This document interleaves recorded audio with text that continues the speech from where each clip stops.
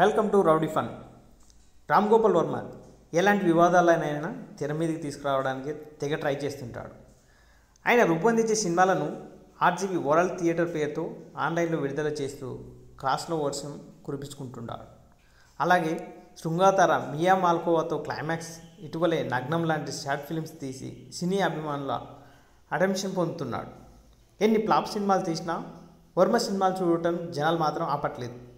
ఇప్పుడు ఏకంగా power star Pawan Kalyan మీదనే షార్ట్ ఫిల్మ్ తీశాడు. ఆ షార్ట్ ఫిల్మ్ ట్రైలర్ చూడటానికి ఇరవై ఐదు రూపాయలు వసూలు చేసిన వర్మ సినిమా చూడడానికి నూట యాభై రెండు వందల యాభై రూపాయల టికెట్ రేట్ ఫిక్స్ చేశాడు. ఇక నేడు ఆర్జీబీ వరల్డ్ థియేటర్లో పవర్ స్టార్ షార్ట్ ఫిల్మ్ విడుదల చేశాడు. ఎన్నో వివాదాల మధ్య విడుదలైన ఈ పవర్ స్టార్ ఎన్నికల తర్వాత ఏం చేస్తాడో తెలుసుకుందాం. కథ ఏంటంటే ఎన్నికల్లో పవర్ స్టార్ పవన్ కళ్యాణ్ ఘోరమైన ఓటమి పాలయ్యాడు. అతని మన సేనపాటిలో పార్టీలో ఒకరు మాత్రమే ఎమ్మెల్యేగా గెలిచారు. పవన్ కళ్యాణ్ పోటీ చేసిన రెండు చోట్ల ఒక్క సీటు కూడా రాలేదని సమాచారం. అంది మదన పడుతూ ఉంటాడు. అలా ఓడిపోయిన పవన్ కళ్యాణ్ పలకరించి ఓదార్చడానికి అతని అన్నయ్య మెగాస్టార్ నిర్మాత గుండ్ల రమేష్ ఇలా ఒక్కొక్కరు వచ్చి ఓదార్స్తున్న టైంలో ఆ ఓడిపోయిన బాధలో నుండి పవన్ కళ్యాణ్ ఎలా బయటపడ్డాడు? ఆయన ఎలా బయటకు వచ్చాడు? ఎవరైనా ఉపదేశం చేశారా? అన్నదే మిగతా కథాంశం. ఎన్నికల ఫలితాలు తెలియగానే పవన్ కళ్యాణ్ బాధతో తన అభిమానులను ఉద్దేశించి నన్ను పవర్ స్టార్ అని ఎందుకు పిలిచారు? సభలు పెడితే లక్షల జనాలు ఎందుకు హాజరయ్యారు? మరి అన్ని లక్షల మంది ఓట్లు ఏమయ్యాయి? చివరికి ఏమి కాకుండా పోయాననే ఆవేశంతో ఇంట్లో టీవీ పగలగొడతాడు. ఆ మరుసటి రోజు పవన్ కళ్యాణ్ డైలాగ్ రైటర్ వచ్చి కలుస్తాడు. చెంపదెబ్బ తింటాడు. స్వామి స్వామి అంటూ పవన్ కళ్యాణ్ గాల్లోకి లేపుతుంటాడు. మీరు నేను దాచుకున్న సైన్యం నేను చేయబోయే యుద్ధం అంటాడు. ఇప్పటికే ఓడిపోయిన బాధలో ఉన్న పవన్ కళ్యాణ్ మళ్ళీ సినిమాలు చేస్తే బాగుంటుంది. ఓ మంచి లైన్ చెప్తాను వినండి. ఇది మీకు తప్ప ఇంకెవరికి సెట్ కాదంటాడు. వెంటనే పవన్ కళ్యాణ్ ఇంతకుముందు జిజ్ఞాతవాసికి కూడా ఇలాగే చెప్పావు అని సెటైర్ వేస్తాడు. అలా టైటిల్ కార్డ్ పడుతుంది. ఆ తర్వాత పవన్ కళ్యాణ్ అన్నయ్య స్టార్ మేగా వచ్చి చెడామడా వాయిన్ చేసి రాజకీయాలు మనకి సెట్ కావు అని అంటాడు. ఇదివరకే నేను పార్టీ పెట్టి బండగూతులు తిన్నాను. అవి భరించడం కంటే సినిమాలు బెటర్ అని మళ్ళీ సినిమాలు చేస్తున్నాను ఇప్పుడు తిట్లు తప్పాయని అంటాడు.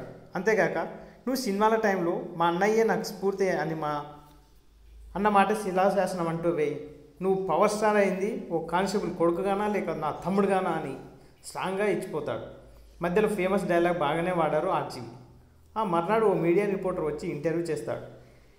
కత్తి నాకన్నా నా గురించి మీకు బాగా తెలుసని పవన్ కళ్యాణ్ అంటాడు. ఆ ఇంటర్వ్యూలో అందరికీ తెలిసిన అంశాలే డిస్కషన్ చేయించాడు రామ్ గోపాల్ వర్మ. పవన్ కళ్యాణ్ అభిమానులపై జనాలపై వేసే సెటైర్లు గట్టిగానే తగులుతాయి. అలాగే త్వరలో బీజేపీ పార్టీతో పొత్తు గురించి కూడా టాపిక్ వస్తుంది. కానీ దాని అసలార్థం ఏమిటో జనాలకు అర్థం అవ్వాలని వర్మ స్కెచ్. కానీ మధ్యలో మహేష్ ఫ్యాన్స్ ఎన్టీఆర్ ఫ్యాన్స్ అనడం వివాదాలు రేపేలా ఉంది. ఇక బుల్బుల్ కృష్ణ సాగార్జున పేర్లు పవన్ కళ్యాణ్ నోట వినిపించాయి. ఇంటర్వ్యూ టైంలో పూణే నుండి ఫోన్ వచ్చిందని అసిస్టెంట్ చెప్తే పవన్ కళ్యాణ్ లేచి వెళ్ళిపోతాడు.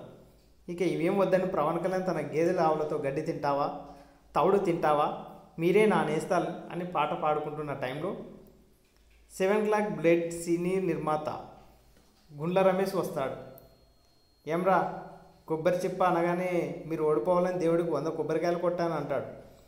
ఇక గుండ్ల రమేష్ మాటలకి పగలబడి నవ్వి అప్పుడప్పుడు వచ్చి మాట్లాడి వెళ్ళు. అంటాడు పవన్ కళ్యాణ్.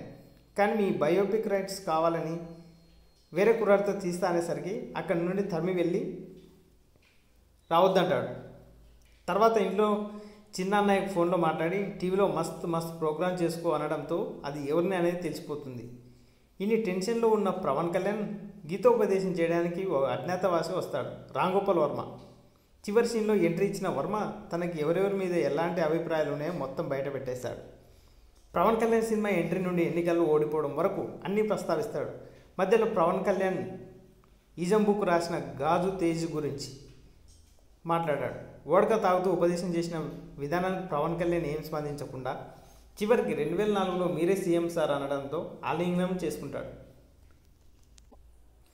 పవర్ స్టార్ సినిమాపై టూకీగా చెప్పాలంటే రెడ్డి రాజుల మీద ప్రేమ కమ్మ ద్వేషం పవన్ అనుచరుల మీద ఆక్రోశం పవన్ అంటే వర్మకి అమితమైన ప్రేమ అని చెప్పడం చెప్పుకోవడం దీనికోసమే తీసిందే మన వర్మ పవర్ స్టార్.